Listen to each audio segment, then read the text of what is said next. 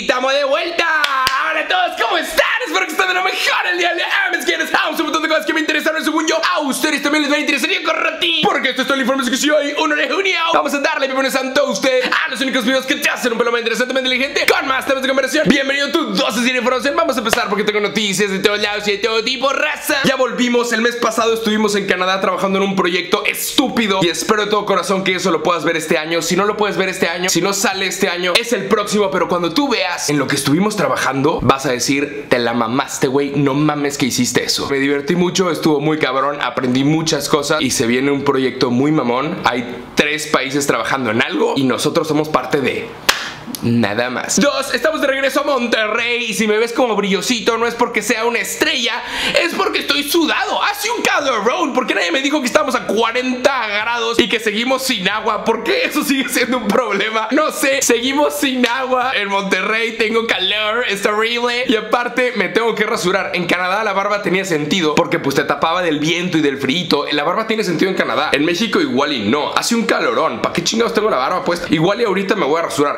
Eh, vamos a hablar de cosas buenas y malas que pasaron esta última semana en donde lo estuvimos grabando. Tenemos que felicitar a las Atlas. Hay gente que los está llamando Ratlas, pero pues qué importa. Atlas acaba de ganar la Liga MX otra vez. Después de 70 años de sequía, ya tienen un bicampeonato. Qué chingón, qué bonito. Lo chingón del fútbol es que le, regala alegrías y lo chingón del fútbol mexicano es que siempre hay como campeones diferentes. Entonces las alegrías se andan como dividiendo entre diferentes personas de diferentes ciudades. Está chingón. Felicidades a toda la gente del Atlas y el tricampeonato campeonato existe? ¿Existe ese término? ¿Es correcto? ¿Puede ir el Atlas por el tricampeonato? Estaría muy mamón, pero nada es imposible. Felicidades al Atlas, qué increíble proyecto tienen y pues nos vemos en la siguiente temporada. Que Tigres viene fuerte también. Nada más, información que yo tengo, viene fuerte. Se viene un fichaje bomba, de acuerdo a lo que yo tengo entendido. Pero sí, el Atlas quedó campeón. Qué bonito. De ahí, raza, lamentablemente no todo es diversión y fútbol. Tenemos noticias tristes. En este momento está empezando a llover. De hecho, y no sé si tiene que ver con el huracán que pegó en el sur de México Lamentablemente tenemos noticias que vienen desde Oaxaca. De acuerdo con el gobernador de Oaxaca, Oaxaca está en luto en este momento. Le pegó el huracán Ágata,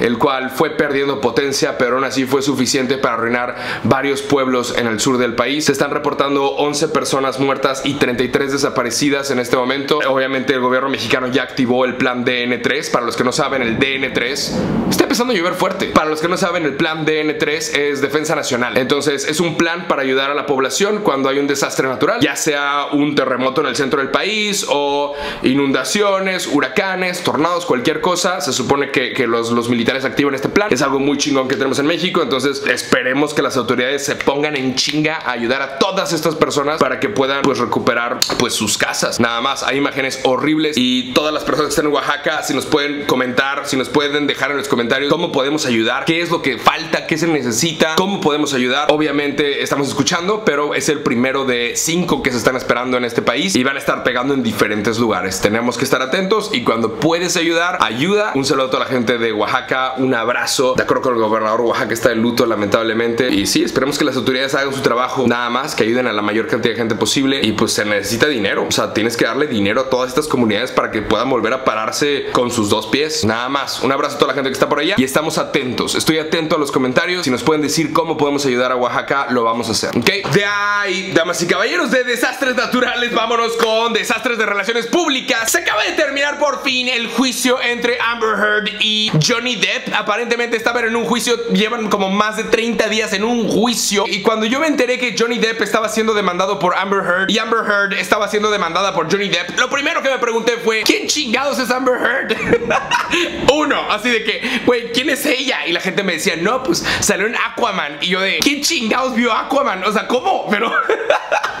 Nada más. Lamentablemente la, historia no está tan chistosa. Eh, Amber Heard hace como unos dos años hizo un artículo para el Wall Street Journal. Ella pues decidió decir que ella también era víctima y decidió echarle la culpa a Johnny Depp. Le echó la culpa a Johnny Depp de violencia intrafamiliar y acoso. Sí, aparentemente Johnny Depp le, había pegado mientras él estaba alcoholizado. Eh, Johnny Depp, después de que salió este artículo, él perdió todo. Perdió el papel que tenía en la serie de películas de Harry Potter, perdió el papel que tenía en esta super serie que se llama Piratas del Caribe, perdió un montón de cosas y resulta que lo que Amber Heard estaba diciendo era falso. Resulta que ella se inventó esto nada más para pues, tener un artículo como picoso y eso se llama difamación. Cuando dices mentiras de una persona, eso se llama difamación y es un delito. Entonces Johnny Depp demandó por difamación a Amber Heard por 50 millones de dólares. Ese es el dinero que aparentemente perdió. Esos son como mil millones de pesos. Y Amber Heard decidió contrademandar también por difamación por 100 millones de dólares. El juicio acaba de terminar. Empezó en abril 11, terminó en mayo 27. ¡Qué hueva! Se entrevistaron a un montón de personas. Hubo celebridades involucradas. Y al final, pues Johnny Depp terminó ganando 15 millones de dólares. Resulta que sí, que mintieron sobre él y sí fue víctima de difamación. Johnny Depp se acaba de ganar 15 millones de dólares, que supongo que no es nada comparado con pues el dinero que perdió por los papeles que estaba haciendo y su imagen ya quedó de una forma manchada. Amber Heard tampoco es 100% culpable o 100% inocente. Amber Heard también fue víctima de difamación y le acaban de otorgar 2 millones de dólares. Entonces salieron muchos trapitos al sol, salieron muchos videos en donde se ve a Johnny Depp borracho, a Amber Heard gritándole. Nadie quedó bien. A veces la gente cree que conoce a las celebridades y se pone a defenderlos. Y pues la neta, a nadie le consta que es de una forma u otra. A nadie le consta que lo que están diciendo es la verdad. No sabemos qué es lo que pasaba cuando la cortina estaba cerrada. Entonces, pues sí, esperemos que Johnny Depp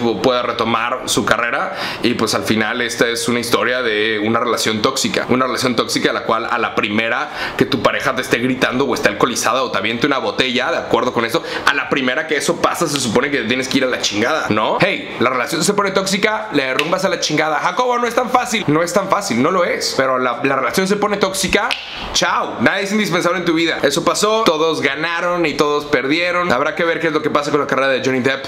Pero pues alguien le debe una disculpa. ¿Qué es lo que opinas al respecto de ay, damas y caballeros? Vamos con noticias también deportivas, pero que estas sí están chidas. Eh, este fin de semana también ocurrió el mayor logro en la historia del automovilismo mexicano. El Checo Pérez ganó Mónaco. ¿ah? La carrera más icónica de la Fórmula 1. El Checo Pérez la ganó. Ahora sí le pusieron gasolina. ¡Qué chingón! El Checo Pérez ganó Mónaco. Una carrera icónica y es definitivamente su mejor victoria. Va a ser una victoria que él va a disfrutar mucho. ¡Qué chingón! Felicidades al Checo Pérez. Y aparentemente, justo después de esto, se informó que él ya había renovado contrato con Red Bull para el 2024. Entonces, México va a estar ahí presente en la Fórmula 1, al menos hasta el 2024, lo cual está bien chingón. Eso es lo bueno. Lo raro, eh, aparentemente, el ex presidente de la República, Felipe Calderón Hinojosa, estuvo presente porque lo invitó el rey, porque está haciendo algo de tecnologías renovables. Felipe Calderón estuvo presente en la celebración del Chico Pérez y hay un video en donde vemos a un ex presidente mexicano aventarse a una alberca con ropa. Y no sé ustedes, pero hasta donde yo tengo entendido, creo que esta es la primera vez en la historia de México que vemos a un ex presidente mexicano aventarse a una alberca en la peda. Entonces, eh, sí, eso pasó. Está como agridulce, la neta, porque no la pasamos bien con Felipe Calderón, al menos no en el norte. Si se preguntan por qué el PAN no volvió a ganar, este cabrón inició una guerra contra el narco, la cual no logró nada y había chingos de muertos todos los días. Había colgados de puentes peatonales, había chingos de muertos. Entonces, también está un poquito raro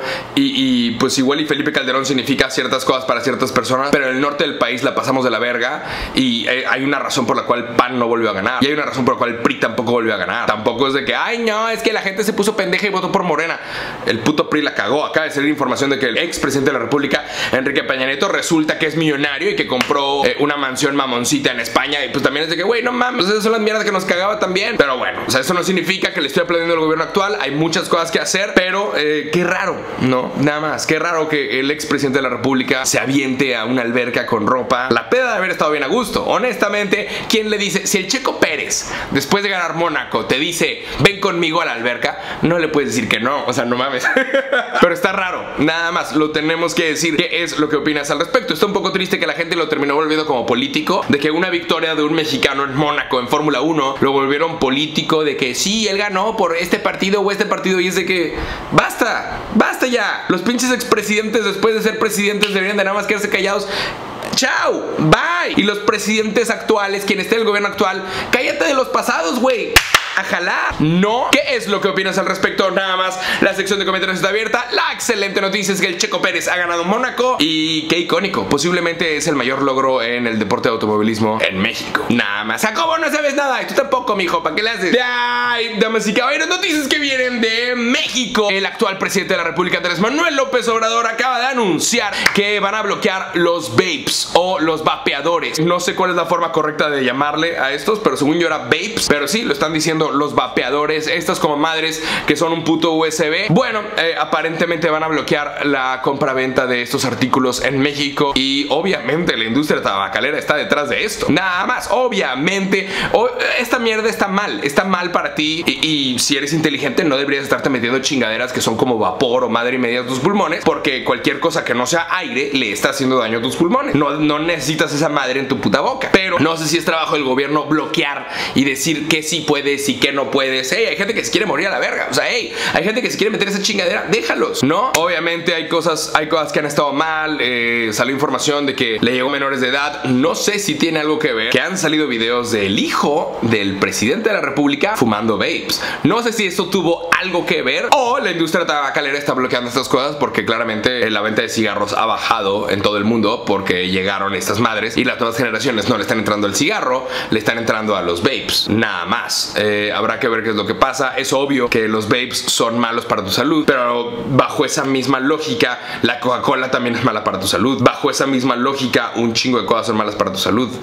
Eh, la, o sea, sí, si vamos a bloquear cosas que son malas para tu salud, bloquea la venta de Coca-Cola para menores de edad, porque está llena de mierda. O no, o la Coca no, pero el vape sí.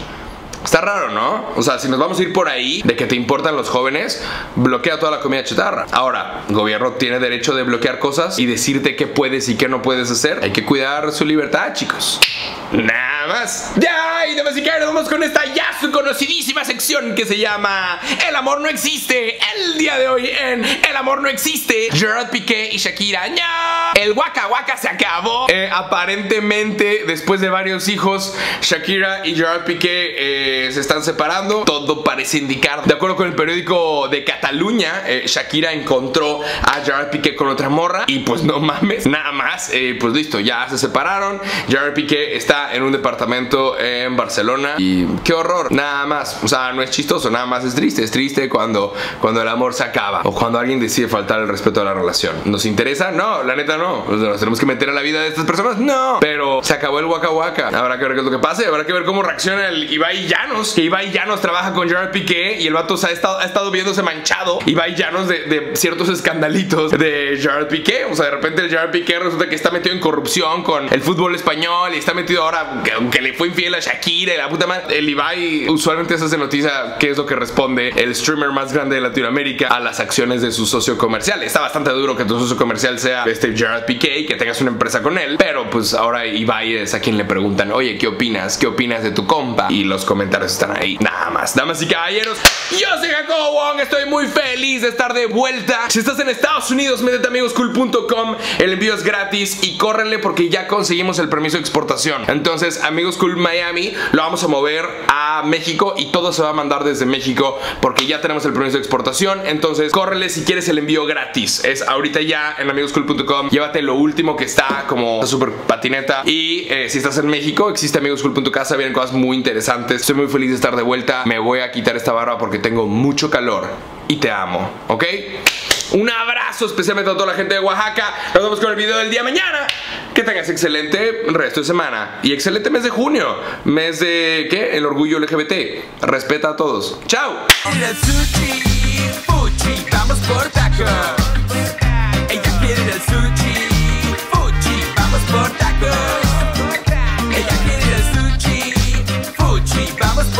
America.